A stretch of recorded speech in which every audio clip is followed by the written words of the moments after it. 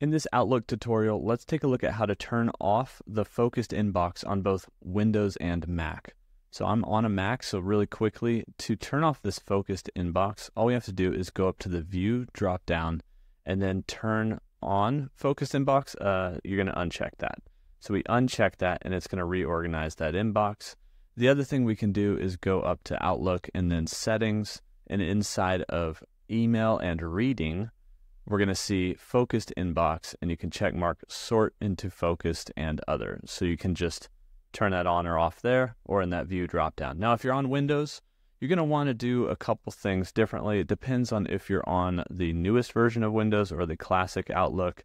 In the newer version, it's going to be in the view dropdown again, and you're going to look for view settings and then mail and layout. This kind of mimics the 365 online version. So you would have view and then find view settings, and then you're going to look at mail and then layout.